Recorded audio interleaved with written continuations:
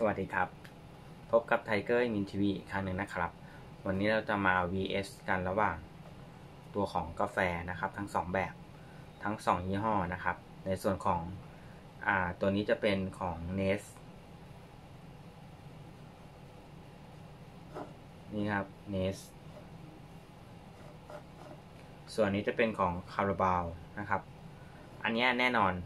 เนสกาแฟตัวเนี้ย Nescafé เนี่ย มีมานานแล้วนะครับ หลายๆคนคงได้ชิมกัน แล้วก็คงติดรสติดใจกับรสชาติของมันที่เข้มข้น แล้วก็กินเมื่อไหร่ เป็นอันหลับนอนไม่หลับ ในส่วนของคาราบาวเอสเปรสโซเหมือนกัน ตัวนี้ที่เอามาเปรียบเทียบกัน vs กันก็คือเป็นเอสเปรสโซเหมือนกันนะครับ ตัวนี้เป็นตัวเก่านะครับ ตัวนี้แก้วละ 15 บาท เอ้ยไม่ใช่กระป๋องละ 15 บาทนะครับ ในส่วนตัวนี้กระป๋องละ 12 บาท ของคาราบาวเจ้าใหม่เพิ่งมา นะครับ เดี๋ยวเรามา vs กันค,คุณสมบัติของกาแฟคงไม่ต้องพูดอะไรมากนะครับ ว่ามันกินแล้วแน่นอน แก้ง่วง ถ้ากินแล้วยังง่วงอยู่ก็คงต้องเลิกกินนะครับ ปริมาณเท่ากันนะครับ 180 ml นะครับ ทั้งสองแบรนด์นี้นะครับ ส่วนแบรนด์ของ n e s ตัวนี้ได้ผลิตไอตัวของโลโก้ทางเลือกสุขภาพด้วย นะครับ แต่ของเท่าที่ดูของคาราบาวเนี่ยยังไม่มีไอในอนาคตเขาคงไปขอนะครับ ในส่วนเรื่องนั้นของเรื่องอนาคตก็มีเครื่องหมายฮาลาลด้วย ทั้งสองเครื่องดื่มนะครับ ช่วงนี้ก็เนสตัวนี้ก็จะมีตัวของสแกน เดี๋ยวเรามาทดสอบกันเลยแล้วกันนะครับ ตัวของคาราบาวนะครับบางคน ช่วงนี้มันมีส่วนลดอยู่ในในตัวของตามทั่วไปนะครับเซเว่นรู้สึกว่าเหลือสิบบาทนะครับ เดี๋ยวลองชิมกันเลยเดี๋ยวลดมก่อน แน่นอนกลิ่นแม่งกาแฟ แต่ไม่เบาๆอะ่ะกลิ่นเบาๆนะครับ คืนนี้กินไปแล้วจะหลับเนี่ย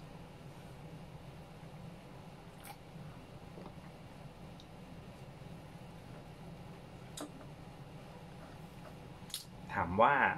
ก็ไม่ถึงกับเข้มข้นมากนะถามว่ากินแล้วมันปี๊ดปื๊ดเลยไหมเหมือนสมัยก่อนที่เคยกินยี่ห้อเนี้ยปี๊ดเลย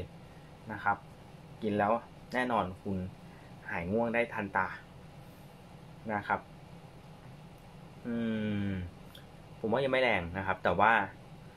อาจจะเป็นทางเลือกสำหรับคนที่อยากกินเอสเปรสโซ่นะครับ ที่ไม่แรงมาก นะครับอาจจะสู้ตัวนี้เดี๋ยวเดี๋ยวมาชิมตัวนี้แล้วมามาให้ความเห็นกันนะครับ เดี๋ยวมาลองกันเปิดมาเหมือนมีโซดาอยู่ข้างในใช่ครับ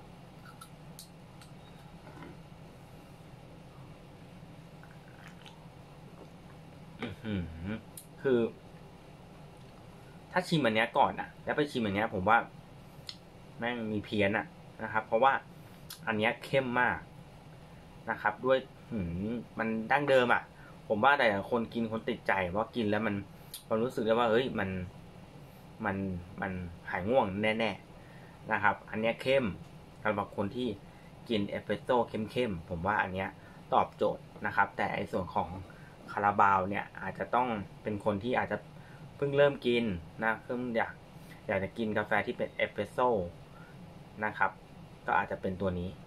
เป็นคาราบาวไปก่อนนะครับ ในส่วตรงเนี้ยอาจจะเป็นแนวประมาณว่าแบบโอ้ต้องต้องไปต่ออย่างเช่นขับรถเนี้ยต้องขับรถไปต่อเพราะว่าถ้าไม่ขับเนี่ยมันไม่ทันเวลา มันพักไม่ได้ แนะนำเอสเปรสโซ่ของเนสตัวนี้เลยกระป๋องเขียวบอกเขาเนสป๋องเขียวเขาแม่ค้ารู้เลย เนสป๋องเขียวนะครับ เข้ม ผมว่ากินสองป๋องอะ ตื่นประมาณสักสี่แปดชั่วโมงอะนะครับ ในส่วนของอันเนี้ยก็พอพอได้นะครับ พอได้สำหรับคนที่เพิ่งเพิ่งเริ่ม แต่ตัวเนี้ยแน่นอนใครที่แบบแม่ง คืนนี้ต้องแบบทำงานต่อเช่นทำงานต่อแล้วกันไม่ต้องบอกว่าขับรถเพราะขับรถถ้าง่วงจริงผมบอกว่าให้นอนสักสิบนาที ถ้าต้องทำงานต่อคืนนี้แบบพรุ่งนี้งานต้องทำให้เสร็จทันทีอะคืนนี้เลยอะต่อให้เช้าก็ต้องเสร็จ จัดไปเลยสองป่องนะครับ ตื่นยันเช้า ตื่นสบายเลยอะ่ะวันนั้นทั้งวันแน่นอนนะครับ โอเค วันนี้ก็มา vs ระหว่างกาแฟทั้งสองเอสเปรสเอพรสโซทั้งสองยี่ห้อนี้นะครับ ผมว่าอันนี้เป็นความคิดส่วนตัวของผมนะครับ ก็ใครมีความคิดเห็นยังไงก็ตอบใต้คลิปได้ด้วยคอมเมนต์ที่สุภาพนะครับ แล้วก็อย่าลืมกดติดตามกด subscribe ช่อง a m i n TV ให้ด้วย